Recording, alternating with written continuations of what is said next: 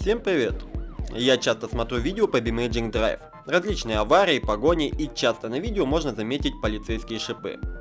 Многие бы их хотели, но ютуберы отвечают, что данный мод приватный, либо же где-то на просторах интернета есть туториал по созданию этих шипов.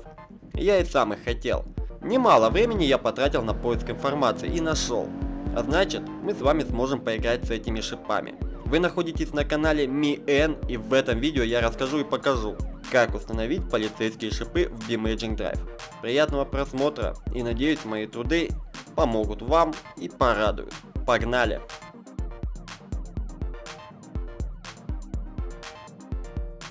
Первым делом скачайте по моей ссылочке папку с одним файлом и закиньте в удобное для вас место. Это и есть наши шипы. Далее переходим в папку с установленной игрой, Открываем папку Content, далее Levels и выбираем карту, на которой хотим поиграть с шипами. Да, это не стандартная установка, как с обычным модом. На каждую карту, где вы хотите играть, придется установить отдельно данный мод. Выбрали карту, далее Levels, название карты, далее открываем папку Art и последняя папка Shepard.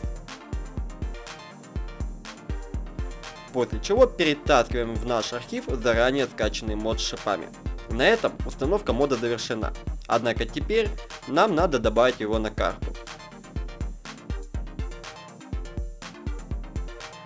Итак, запускаем игру, нажимаем кнопку «Играть», «Свободная езда» и выбираем карту, на которую мы установили мод. Загружаемся. После того, как наша карта загрузилась, мы должны перейти в режим редактирования. Для этого нажимаем клавишу F11. Далее вверху выбираем вкладку Tools и нажимаем на Asset Browser. Ждем загрузки меню. В левом столбце находим папку Art. Далее папка Shepard и выбираем файл MN Spike. Это и есть наши шипы. Осталось немного их настроить.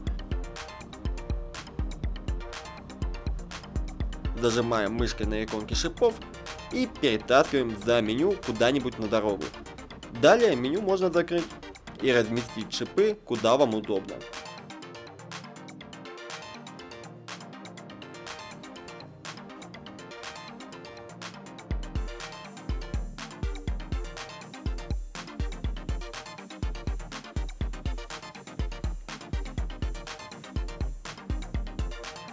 Мы разместили шипы.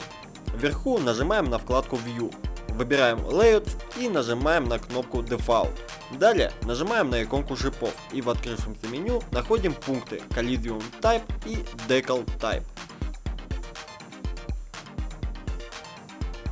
На них выставляем значение Visible Mesh.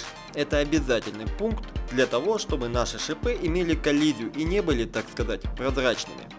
Закрываем эти два меню и осталось дело за малым, а точнее за текстурами. Для того, чтобы изменить цвет шипов на тот, который нам необходимо, мы вверху нажимаем на вкладку Tools, выбираем Asset Browser и нажимаем правой кнопку по шипам. Далее выбираем Show in Shape Edition, далее выбираем четвертую вкладку Materials, нажимаем на единственную появившуюся строчку и в открывшемся окне находим первый белый квадрат.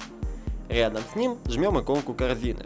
Далее, чуть ниже, жмем на иконку белого квадрата и выбираем нужный нам цвет. После того, как мы выбрали нужный нам цвет, закрываем окна и выходим из режима редактирования клавишей F11. Вот и все. Осталось только проверить. Как вы видите, ничего сложного.